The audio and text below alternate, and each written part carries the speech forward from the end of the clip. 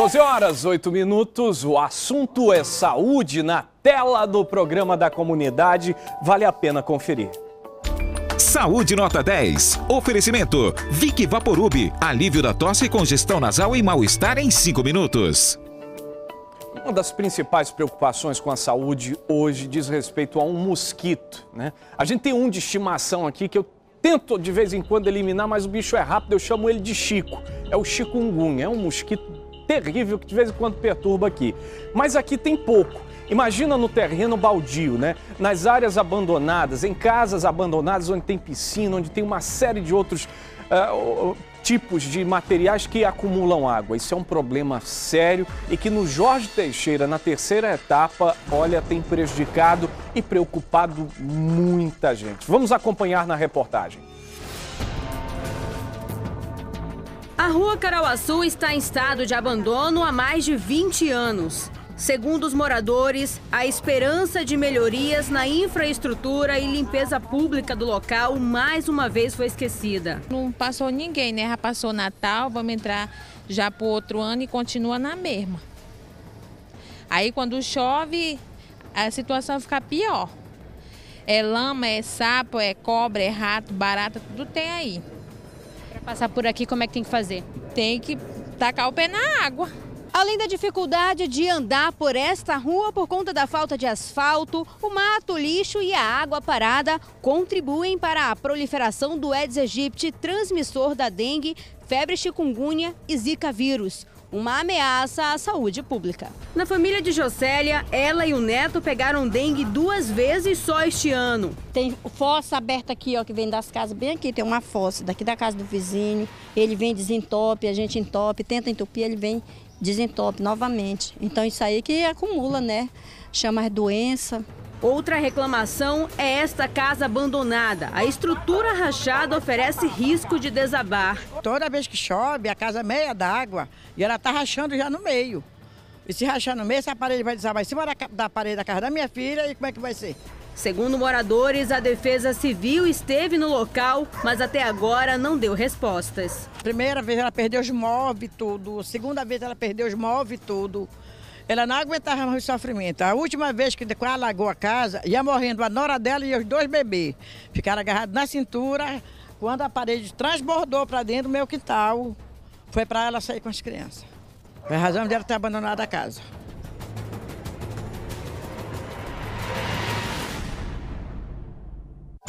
Saúde Nota 10. Oferecimento. Vic Vaporub. Alívio da tosse, congestão nasal e mal-estar em 5 minutos.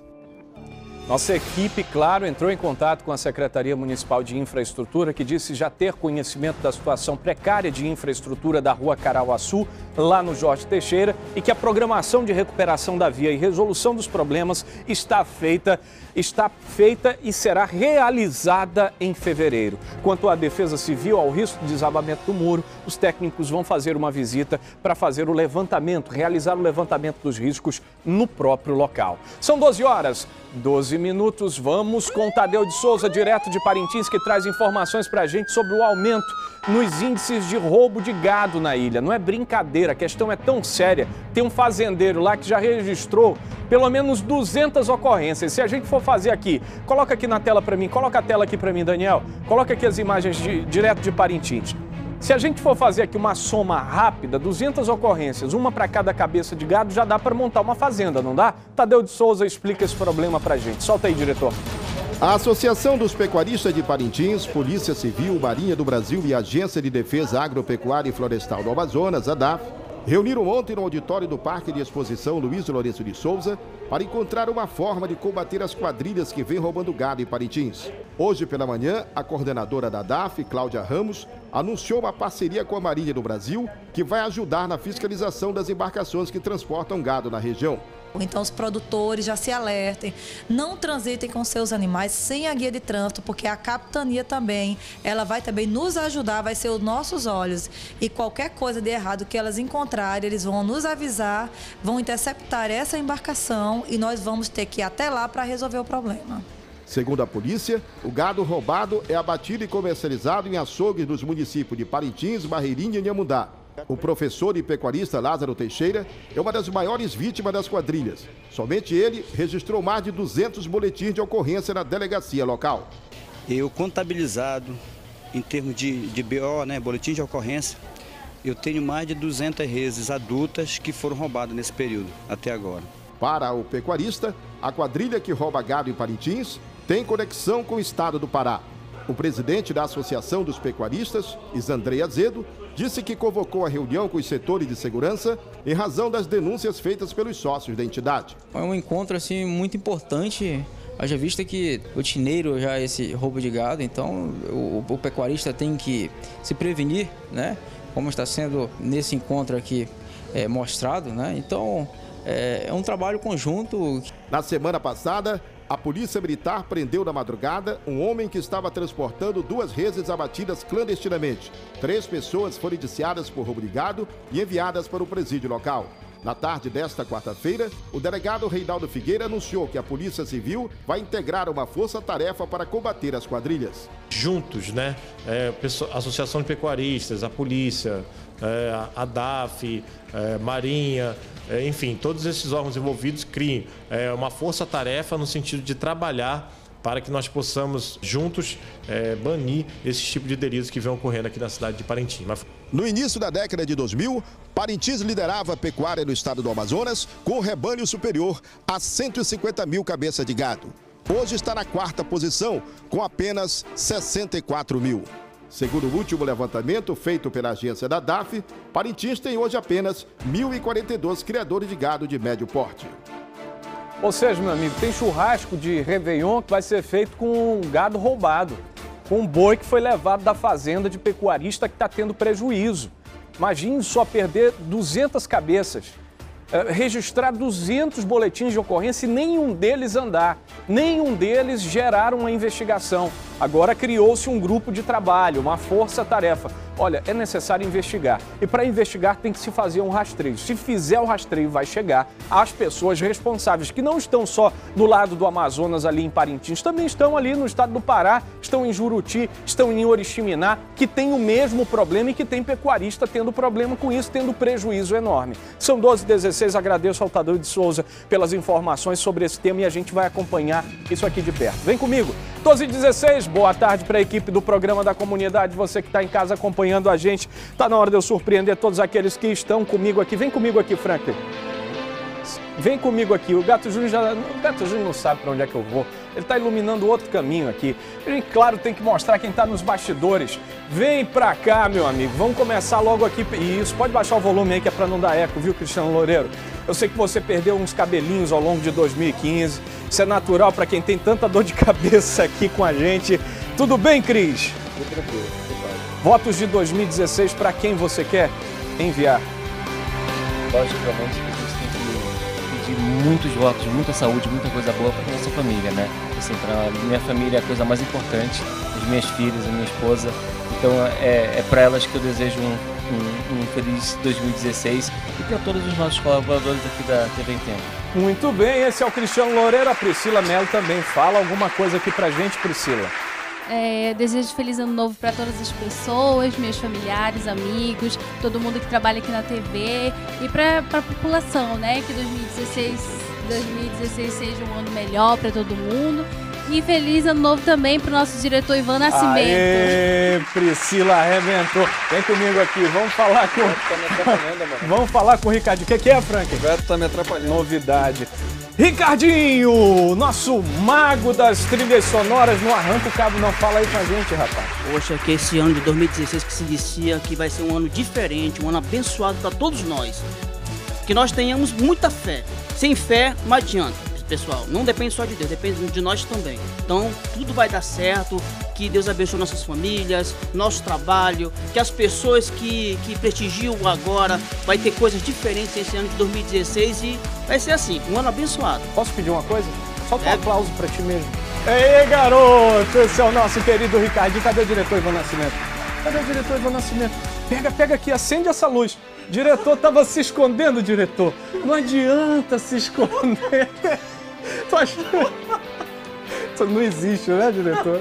Fazendo palhaçada essa hora, rapaz. Fala aí com a gente. Bora. Fala aí Amaral, gente. pois é, então eu queria, eu queria, queria aproveitar esse momento e agradecer a todo mundo, né? Todo mundo que trabalha, todo mundo que faz parte dessa equipe, que é muito bom trabalhar com todo mundo, todo- todos esses anos que a gente está aqui, ao Amaral, ao Franklin, o Gato que está segurando a iluminação, o Cristiano, Priscila, Ga- Ricardinho, Danilo, Marcela, Jefferson, a Márcia Lasmar, é, como é que é o nome da nossa Nossa produtora? Nossa todinha, produtora, como é que é o nome? a Ingrid.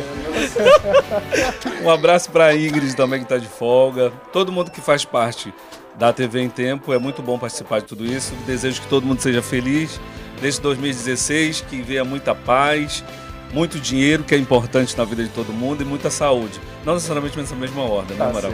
Tudo de bom, obrigado pela audiência e é sempre bom fazer parte dessa família. O Obrigado. diretor chama, chama o ombro a Márcia Lasmar. Ah, e agora então a gente vai com uma dica da Márcia Lasmar. Já está mais do que comprovado que o ômega 3 promove vários benefícios à saúde, então comece agora a tomar o ômega 3 da Divicon Pharma. O ômega 3 da Divicon Pharma auxilia na proteção contra as doenças cardiovasculares, processos inflamatórios e ajuda a diminuir o risco do desenvolvimento de alguns tipos de câncer. Traz benefícios para o sistema imunológico e ainda pode ajudar a melhorar a concentração e a memorização. E não é só isso, o ômega 3 da Divicon Pharma tem o melhor custo-benefício do mercado. Olha só, na compra de um pote como este aqui, você ganha 50% a mais e não paga nada a mais por isso. Tá esperando o quê, hein? São muitos benefícios do ômega 3 da Divicon Pharma. Você que toma ou precisa tomar ômega 3, experimente o ômega 3 da Divicon Pharma. Nele você pode confiar. Agora você já sabe. Ômega 3, só o da Divicon Pharma. O ômega 3 da Divicon Pharma está à venda em todas as farmácias do Brasil, mas a preços promocionais nas redes de drogarias Angélica e Farmabem. E você já sabe, não troque de produto, troque de farmácia. Amaral é com você. Obrigado, Massinha, muito obrigado. Agora a gente vai fazer o seguinte, Frank, tu vai por ali, que eu vou por aqui, rapidinho, invadindo a redação do programa da comunidade, as baias mais bem organizadas da TV amazonense. Passa o pano nessas baias aqui. Joãozinho, Joãozinho, seu feliz ano novo, rapidamente. Eu queria desejar um feliz ano novo pra minha família, pra todo mundo da TV em Tempo, muita paz, muita saúde, muito dinheiro. Deu um É abraço isso. no Wallace? Dei, dei um abraço daí. Ele me Apertado? conheceu, finalmente, Apertado? né? Tá Peguei na mão dele só, não um abraço não. Agradece, agradece o diretor. É, o diretor Ivan Nascimento que me deu a grande oportunidade de estar aqui na TV em Tempo. Ah, garoto! Vai ficar mais um ano. Juscelio Paiva, nosso repórter policial, rapaz. Amaral, quero desejar aí um feliz 2016, repleto de muitas realizações positivas a todos, né? Em especial a minha família em Vira e aos meus amigos que aqui estão assistindo. Grande Envirense, representante genuíno do Juruá. Vamos aqui pra dentro, vem pra cá, vem pra cá. Cadê o pessoal da edição de imagens? Emily, 2015 foi bom pra você, né? Foi ótimo, não tenho nada que reclamar, graças a Deus. Manda o teu feliz ano novo aí. Feliz ano novo para todos nós que nos acompanham aqui todos os dias. Que Deus venha abençoar cada vez mais esse novo ano que está chegando. Obrigado a você de casa, obrigado pela audiência. Corre pra cá. Quem é esse aqui? É o Juscelio? Luana Lima, manda teu feliz ano novo. Pega o microfone aí rapidinho. Eu vou pelo outro lado. Bom, eu queria desejar, né, tudo de bom, né, nesse novo ano que já está quase se iniciando, né, e que um feliz ano novo para minha família, né, para meus amigos, para nós aqui da TV em Tempo, que também somos uma família porque a gente está diariamente juntos, né, todo dia, o dia inteiro. E, e ainda falar que as pessoas amem mais ano que vem, abracem mais, sorriam mais, para que a gente tenha um mundo melhor, né? Para Tá a gente seja melhor. Confirmadíssimo? Tá tudo confirmado no almoço Pô, daqui aí a pouco. arrebenta. Todo mundo convidado. Arrebenta. Pronto, a Luana vai pagar pra todo mundo que tá em casa também. Sarinha, seu feliz ano novo, aí você aproveita e já chama o intervalo pra gente, tá? O programa é contigo agora. Queria desejar um feliz ano novo para todo mundo que está assistindo, em especial para minha família e que a graça de Deus alcance todos os lares. E vamos para os comerciais agora. TV em Tempo. Feliz 2016.